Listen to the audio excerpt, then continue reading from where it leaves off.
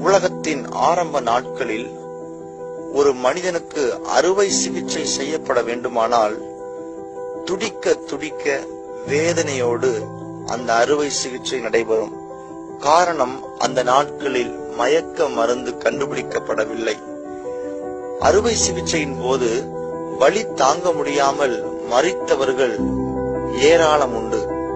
இந்த சூழ்நிலையில் டாக்டராக பணியாற்றிக் கொண்டிருந்த ஜேம்ஸ் யங் சிம்சோன் என்பவர் பரிசுத்த வேதாகமத்தை அவர் திறந்து வாசிக்க ஆரம்பித்தார்.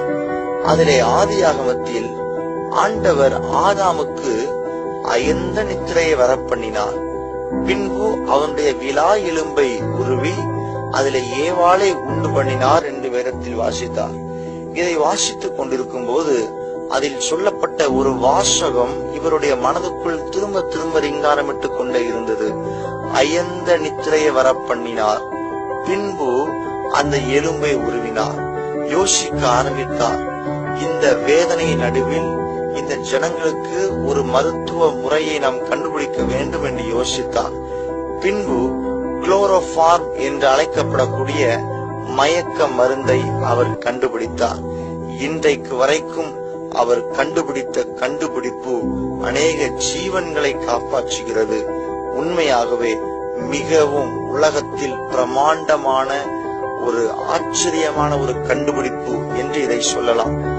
இந்த ஜேம்ஸ் எம் சிம்சன் என்கிற மருத்துவரை ஒரு பெரிய கான்பரன்ஸ் ஹாலில் அநேக பத்திரிகையாளர்கள் புடைசூழ நின்று கேள்வி கேட்டார்கள்.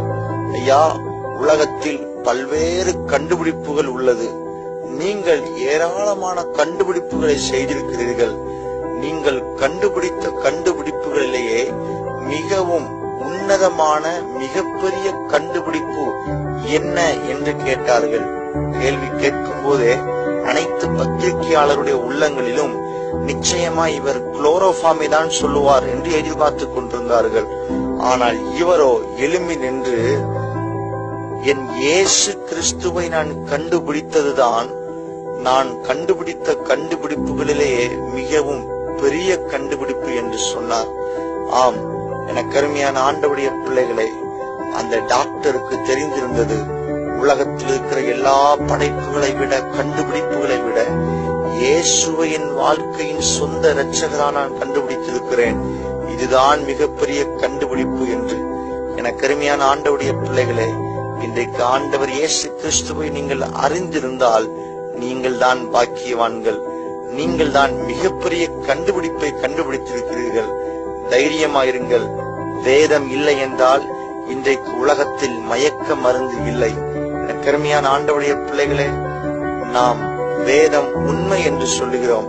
அந்த உண்மைக்கு சான்றாக உலகத்தில் ஏராளம் இருக்கிறது. இன்னொரு சான்றில் இன்னொரு வீடியோவில் சந்திப்போம். நன்றி.